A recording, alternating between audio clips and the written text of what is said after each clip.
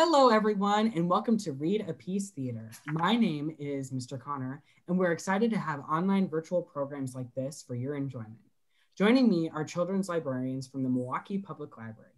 Today, we will be reading This Is Not My Hat by Jon Klassen. We're reading this with permission from Candlewick Press. Now on with the reading.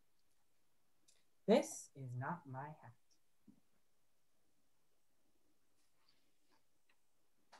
This hat is not mine. I just stole it. I stole it from a big fish. He was asleep when I did it. And he probably won't wake up for a long time.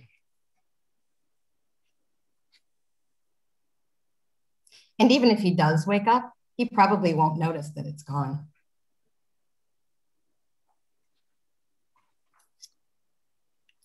And even if he does notice that it's gone, he probably won't know it was me who took it.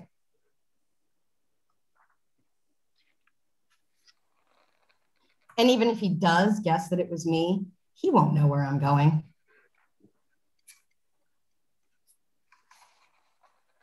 But I will tell you where I'm going. I'm going where the plants grow big and tall and close together. It's very hard to see in there. Nobody will ever find me.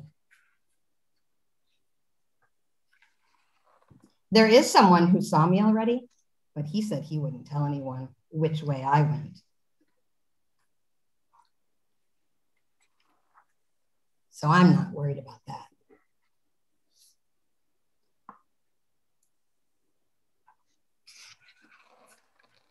I know it's wrong to steal a hat. I know it does not belong to me, but I'm going to keep it.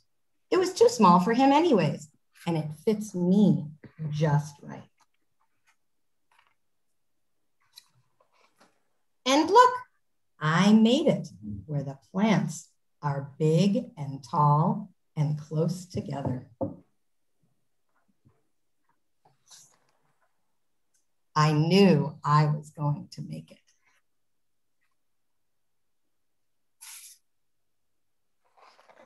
Nobody will ever find me.